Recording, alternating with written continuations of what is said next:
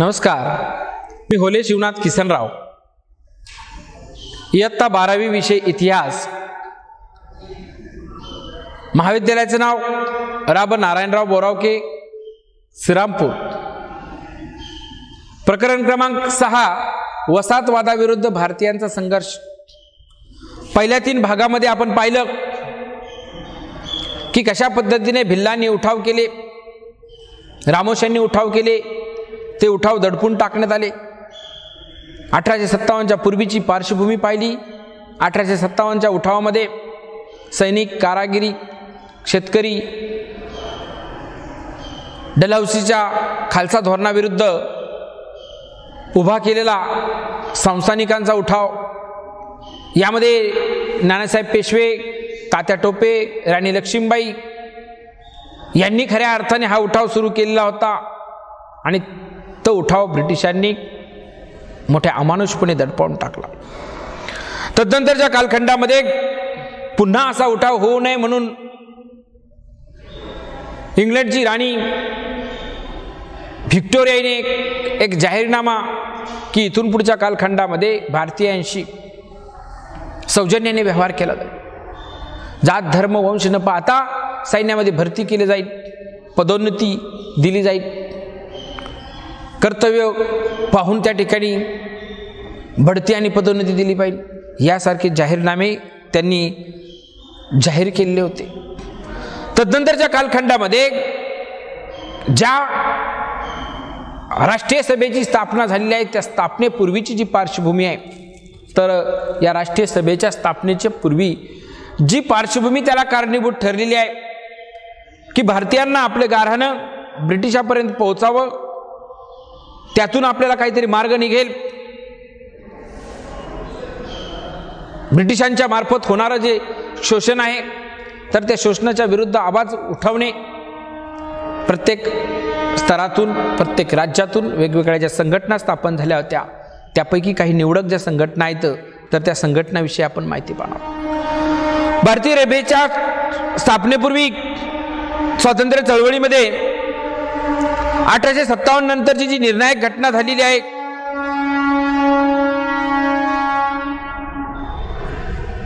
ती निर्णायक घटना म्हणजेच की भारतामधील वेगवेगळ्या संघटना ज्या स्थापन झाल्या आहेत या संघटनेच्या माध्यमातून ब्रिटिशांना विरोध करण्यास सुरुवात झाली. पैकी अठराशे सदोतीसला द्वारकानाथ ठाकूर यांनी स्थापन केलेली लँड होल्डर ही एक संघटना.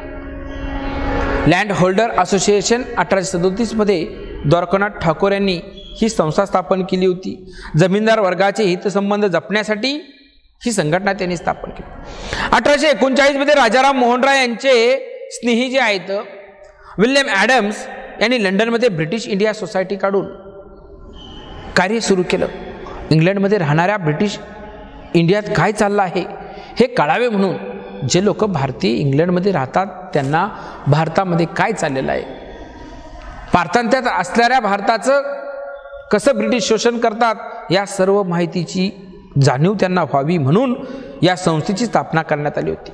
द्वारकानाथ टागोर यांचे स्नेही थॉम्समन यांनी Bengal British India society Bengal British India सोसायटीची स्थापना याच कालखंडामध्ये केली होती आणि या संघटनेच्या माध्यमातून खऱ्या अर्थाने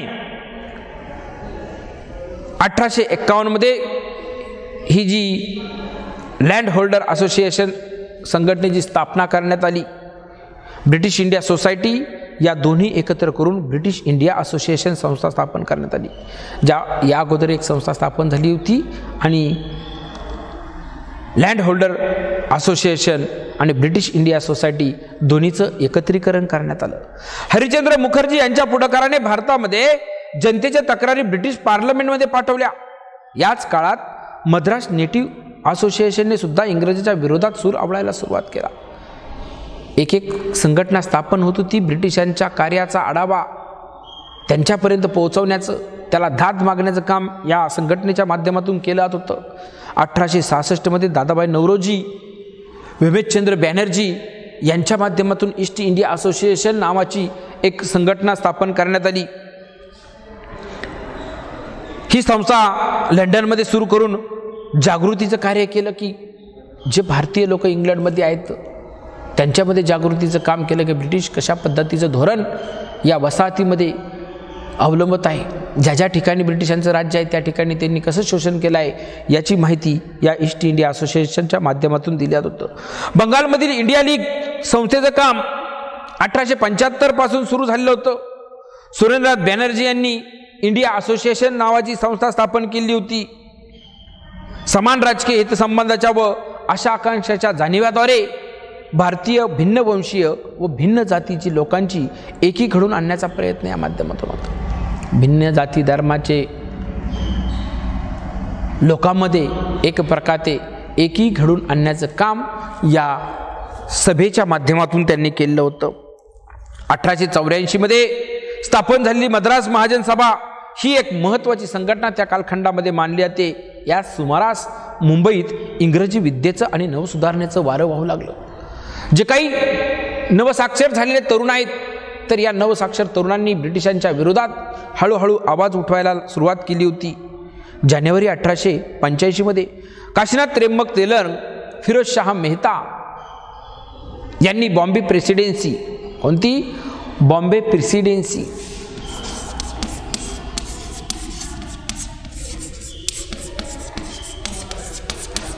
या नावाची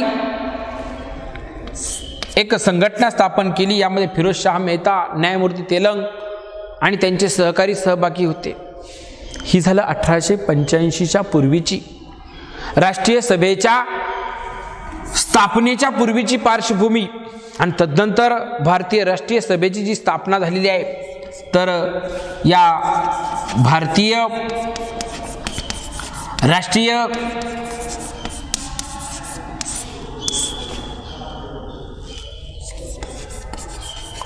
सभेची जी स्थापना झाली तर ही स्थापना करण्यामागे खऱ्या अर्थाने ज्याप्रमाणे भारतीयांनी पुढाकार घेतलेला होता आपली गाराणी आपली मागण्या ब्रिटिशांपुढे सनदशीर मागण्याने मांडता याव्यात याच उद्दिष्टाने.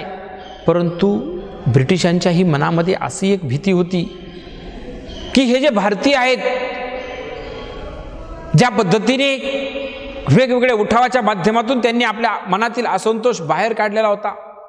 भिल्ल असो कुळी असो रामोशी असो संस्थानिक असो शेतकरी असो या सगळ्यांनी केलेले जे वेगवेगळे उठाव आहेत यासारखे उठाव. यापैकी अठराशे सत्तावन्नचा उठाव हा सर्व व्यापक होता. लाख ते सव्वा लाख लोक या ठिकाणी उठावामध्ये सहभागी झाले होते. जरी हा उठाव ब्रिटिशांनी दडपून टाकलेला असला हत्याराच्या जोरावरती शस्त्राच्या जोरावरती ताकदीच्या जोरावरती. परंतु भविष्यात असा उठाव होऊ नये. जो भारतीयांच्या मनामध्ये असलेला असंतोष जो आहे तर तो असंतोष कमी करावा. या उद्दिष्टाने त्यांनी एक राष्ट्रीय पातळीवरती एखादी संघटना असावी ह्या भारतीयाच्या मताला दुजोरा देण्याचं काम केलं.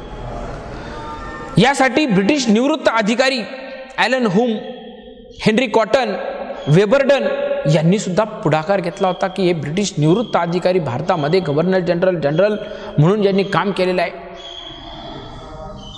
यांचं मत असं होतं जसं आपल्या घरातील प्रेशर कुकर असतो त्या प्रेशर कुकरला जी शिट्टी असते अन्न त्यातील नीट शिजवण्यासाठी त्या प्रेशर कुकरला वरती जी शिट्टी असते त्यातून अतिरिक्त वाफ बाहेर निघते म्हणून अन्न व्यवस्थित शिजतं.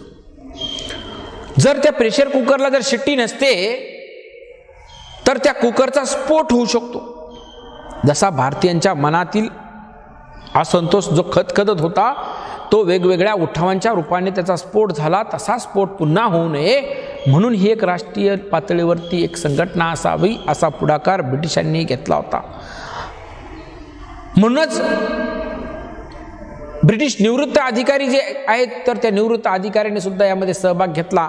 आणि अठ्ठावीस डिसेंबर अठराशे पंच्याऐंशी कधी? अठ्ठावीस डिसेंबर अठराशे पंच्याऐंशीला. मुंबईमध्ये गोकुळदास तेजपाल संस्कृत विद्यालयाच्या सभागृहात इंडियन नॅशनल काँग्रेस उर्फ भारतीय राष्ट्रीय सभेचे पहिले अधिवेशन झालं. ही जी राष्ट्रीय सभा अठराशे पंच्याऐंशीला स्थापन झालेली आहे स्वातंत्र्य प्राप्तीपर्यंत याचा हेतू होता ही संघटना ठेवावी परंतु तीच अठराशे पंच्याऐंशीला स्थापन झालेली राष्ट्रीय काँग्रेस तिलाच राष्ट्रीय सभा असं म्हटलं जातं. या राष्ट्रीय सभेचे पहिले अध्यक्ष व्यमेशचंद्र बॅनर्जी होते. प्रतिवर्षी अधिवेशन घ्यायचं. या अधिवेशनाच्या माध्यमातून आपले प्रश्न आपले गाऱ्हाणे हे ब्रिटिशांसमोर ठेवायचे. आणि चार पाच प्रश्न जरी आपण मांडले त्यातले दोन तीन जरी सुटले तरी आपलं समाधान त्यात मांडते भारतीयांना या राष्ट्रीय सभेच्या माध्यमातून ब्रिटिशांच्या चांगुलपणावरती विश्वास होता. ब्रिटिश भारताचं भलं करू शकतात ब्रिटिशच आपल्याला या जाचातून मुक्त करू शकतात या शोषणातून मुक्त करू शकतात अशी भोळी भाबडी समज या राष्ट्रीय काँग्रेसची सुरुवातीच्या कालखंडातील होती. प्रतिवर्षी भरणारं अधिवेशन आज तागायत. दोन हजार वीस आलेलं आहे.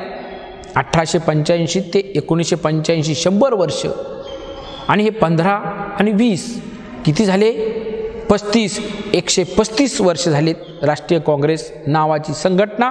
त्यावेळेस संघटना म्हणून स्थापन करण्यात आली होती. स्वातंत्र्य प्राप्ती करण्यासाठी आज तो एक पक्ष म्हणून त्या ठिकाणी कार्य करत आहे. सुरुवातीच्या कालखंडामध्ये सत्तेचाळीस पर्यंत स्वातंत्र्य प्राप्तीसाठी तदनंतर आपल्या भारताच्या विकासासाठी या राष्ट्रीय काँग्रेसने काम केलं आणि आज स्वातंत्र्यानंतर पंडित नेहरू नंतर इंदिरा गांधी लाल बहादूर शास्त्री पी व्ही नरसिंहराव यांसारखे पंतप्रधान होत गेले एक एक अध्यक्ष बदलत गेले आणि आता सध्या सोनिया गांधी या राष्ट्रीय काँग्रेसच्या अध्यक्ष म्हणून काम पाहत आहेत.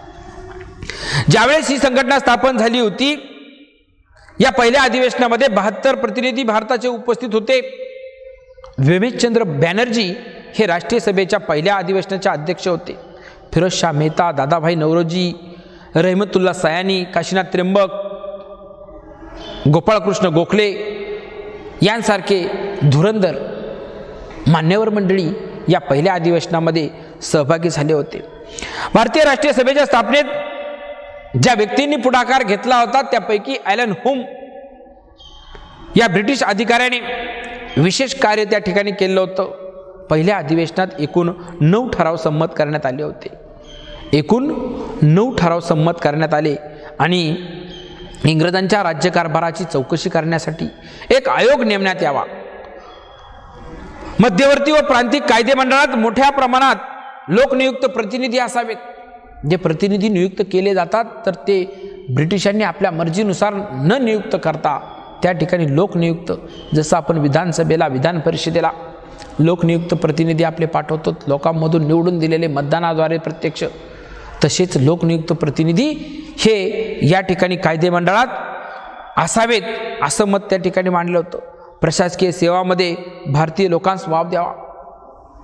आपणास फक्त शिपाई कारकून खालच्या पातळीचे काम दिले जात होते परंतु प्रशासकीय सेवामध्ये आपल्याला समावून घेतलं जात नव्हतं परीक्षाच द्यायची त्या ठिकाणी परवानगी नसायची.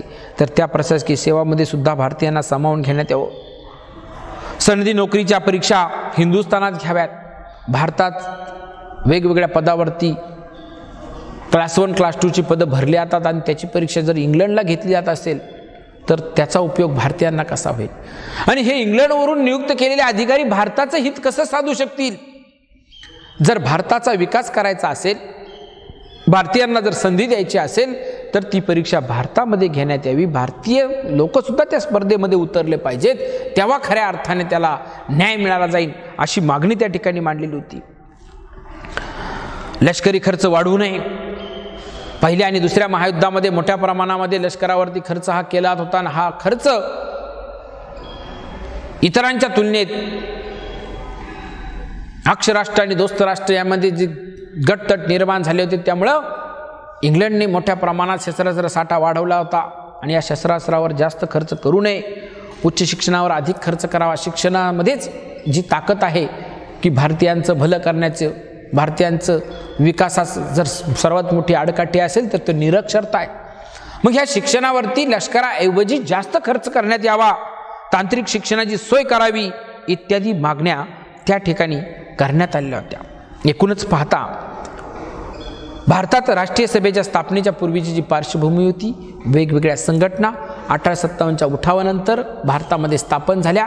यापैकी द्वारकानाथ ठाकूर यांनी लँड होल्डर असोसिएशन अठराशे सदोतीसमध्ये अठराशे एकोणचाळीसमध्ये राजाराम मोहन राय यांचे स्नेही विल्यम ॲडम्स यांनी ब्रिटिश इंडिया सोसायटी थॉम्समन यांनी Bengal British India society Dadabhai Naoroji Womesh Chandra Banerjee यांच्या सहकारातून ईस्ट इंडिया असोसिएशन ही संघटना इंग्लंडमध्ये स्थापन झाली. अठराशे चौऱ्याऐंशीमध्ये मद्रास महाजन सभा त्यानंतर बॉम्बे प्रेसिडेन्सी नावाची जी संघटना आहे फिरोजशाह मेहता आणि त्यांचे जे सहकारी आहेत काशीनाथ त्र्यंबक तेल तेलंग यांनी स्थापन केली होती.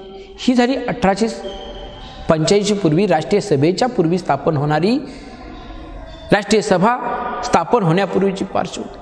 आणि राष्ट्रीय सभा जी स्थापन झाली तर तो म्हणजे ब्रिटिशांनी यामध्ये पुढाकार घेऊन भारतीयांच्या मनात होतंच की एक राष्ट्रीय पातळीवरती आपली गाराणे मांडण्यासाठी एखादी संघटना असावी. परंतु ब्रिटिशांना सुद्धा भारतीयांच्या मनातील असंतोष जो आहे तर ती खतखत जी आहे तर ती बाहेर पडावी कुठंतरी त्याला व्यासपीठ असावं. यासाठी ॲलम ॲक्टोव्हियन ह्यूम यांनी या राष्ट्रीय सभेच्या स्थापनेमध्ये पुढाकार घेतला आणि अठ्ठावीस डिसेंबर एकूण अठराशे पंच्याऐंशीला राष्ट्रीय सभेची स्थापना आली. बहात्तर प्रतिनिधी या ठिकाणी आपले स्थाप सहभागी होते. भीमेशचंद्र बॅनर्जी या राष्ट्रीय सभेच्या पहिल्या अधिवेशनामध्ये अध्यक्ष म्हणून त्यांनी काम पाहिलं होतं. एकूण नऊ ठराव त्या ठिकाणी संमत करण्यात आले आणि इंग्रजांच्या राज्यकारभाराची चौकशी एक आयोग नेमण्यात आला. भारतीयांना कोणकोणत्या संधी त्या माध्यमातून असाव्यात? भारतांचा विकास साधायचा असेल तर कोणकोणत्या सुविधा भारतीयांसाठी उपलब्ध करून दिल्या पाहिजेत? तर हे या राष्ट्रीय सभेच्या पहिल्या अधिवेशनात ठरलेलं होतं. या राष्ट्रीय सभेचे तदनंतर मवाळ जहाल आणि गांधीयुग या तीन टप्प्यामध्ये विभाजन करण्यात येतं. अठराशे पंच्याऐंशी ते एकोणीसशे पाच मवाळ कालखंड एकोणीसशे पाच ते एकोणीसशे वीस हा जहाल कालखंड आणि एकोणीसशे वीस ते एकोणीसशे सत्तेचाळीस याला गांधीयुग म्हटलं तर पुढील पाठात आपण टप्प्याटप्प्याने राष्ट्रीय काँग्रेसची वाटचाल स्वातंत्र्याच्या दिशेने कशी झाली हे आपण पाहूया. धन्यवाद.